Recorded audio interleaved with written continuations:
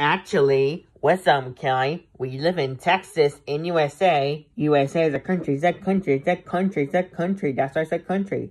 That's right. So, it means we live in Texas in United States. That's right. So, so what's up, Kelly?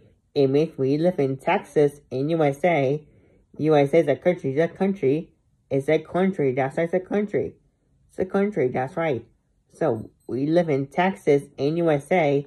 USA is a country. It's a country. We take the train in Dewberry Farm. That's right. Dewberry Farm. That's right. So, so what's up, County?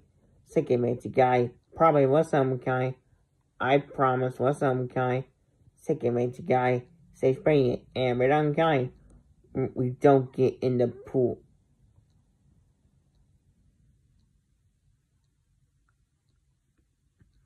So, maybe.